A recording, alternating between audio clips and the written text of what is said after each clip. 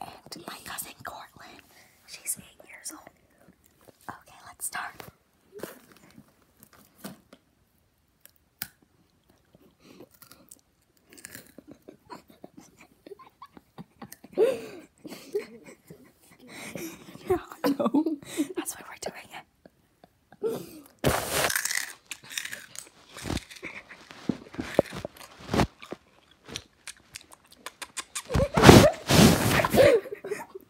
comedy. We don't actually do ASMR.